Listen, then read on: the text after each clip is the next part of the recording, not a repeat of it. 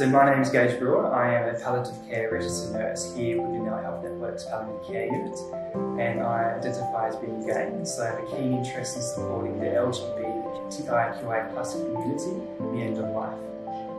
And here in the unit we provide holistic person-centred care and that means that we provide care that just doesn't just focus on the physical symptoms and the disease, it focuses on things like the psychosocial, emotional, cultural needs as well. And we also recognise that people are individuals uh, with different ages, uh, sexuality and gender, and we incorporate that into the care as well. There are many barriers or challenges which the LGBTIQA community experience today.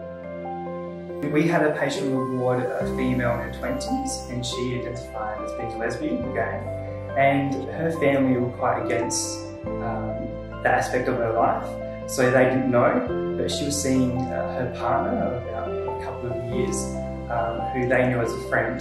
So on the ward, she became bedbound and she really wanted to come out to her family about who she was, her sexuality and her loved one, her close partner.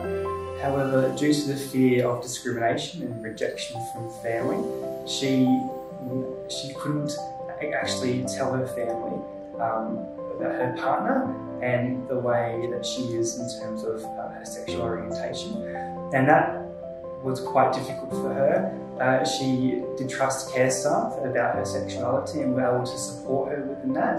But then she passed away with actually without telling her family about her partner, her loved one that she really loved and cared for. Um, and that was quite a sad thing to, to witness. Carer Help provides a lot of empowerment for carers and uh, and LGBTIQ plus community patients and care wise um, to uh, recognise those challenges, um, to kind of meet them early on in the care phase and provide the best, most welcoming environment which they can um, in order to meet their care needs.